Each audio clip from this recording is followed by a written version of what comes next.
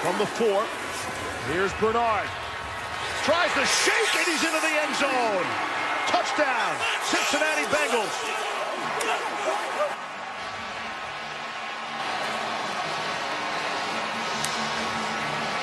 Things happen fast down here on the goal line, and Joe Haden one-on-one -on -one against Bernard. He's just got to make this play. You're going to see him right here. Although he's going to have a body flash in front of him, he's got to make this play. You've got to come downhill right now and get in on this tackle. You cannot pitch a no-hitter right there. Bernard